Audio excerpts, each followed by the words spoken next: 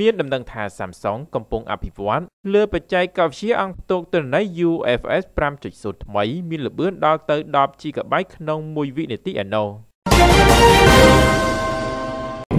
ដោយដែលលោកអ្នកនិយមតាមដានវិស័យបច្ចេកវិទ្យា smartphone បានដឹងរួចមកហើយថាបច្ចេកវិទ្យាអង្គផ្ទុកទិន្នន័យ storage របស់ smartphone នាពេលបច្ចុប្បន្ននេះគឺវិវត្តដល់ចំនួន UFS 4.0ហើយ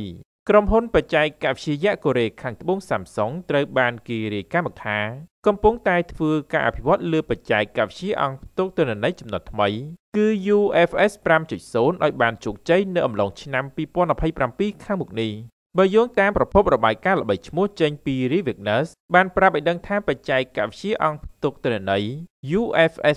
5.0ចំនួនថ្មីដែលក្រុមហ៊ុន Samsung កំពុងតែសម្ងំអភិវឌ្ឍនោះគឺមានស្តង់ដារល្បឿនបញ្ជូនទិន្នន័យខ្ពស់បំផុតដល់ទៅ 10 GB ក្នុង1វិនាទីឯណោះខណៈបច្ចេកវិទ្យាអង្គផ្ទុកទិន្នន័យ UFS 4.0មាននៅលើ smartphone កំពូលកំពូលបច្ចុប្បន្ននេះគឺមានល្បឿនស្តង់ដារត្រឹម5800 MB ក្នុង1វិនាទីតែប៉ុណ្ណោះ ជាងនេះទៅទៀត Samsung ក៏ទំនងជាកំពុងអភិវឌ្ឍផលិតបច្ចេកវិទ្យាអង្គផ្ទុកទិន្នន័យ UFS 4.0កម្រិតខ្ពស់មួយទៀតដែលមានល្បឿនដំណើរការបញ្ជូនទិន្នន័យបានដល់ខ្ទង់ 8 GB ក្នុង1វិនាទីថែមទៀតផងដោយ Advanced UFS 4.0នេះត្រូវបានក្រុមអ្នកជំនាញផ្នែកបច្ចេកវិទ្យាជាច្រើនមើលឃើញថានឹងមកដល់នៅលើ smartphone Android កំពូលកំពូលនៅអំឡុងឆ្នាំ2025ខាងមុខនេះតែម្ដង ដូច្នេះយើងអាចសន្និដ្ឋានបានថា UFS 5.0ចេញពីក្រុមហ៊ុន Samsung សប្តាហ៍ថ្ងៃនេះគឺកំពុងស្ថិតក្នុងដំណើរការអភិវឌ្ឍនៅឡើយដោយរំពឹងថានឹងរួចរាល់ទាំងស្រុងនៅអំឡុងឆ្នាំ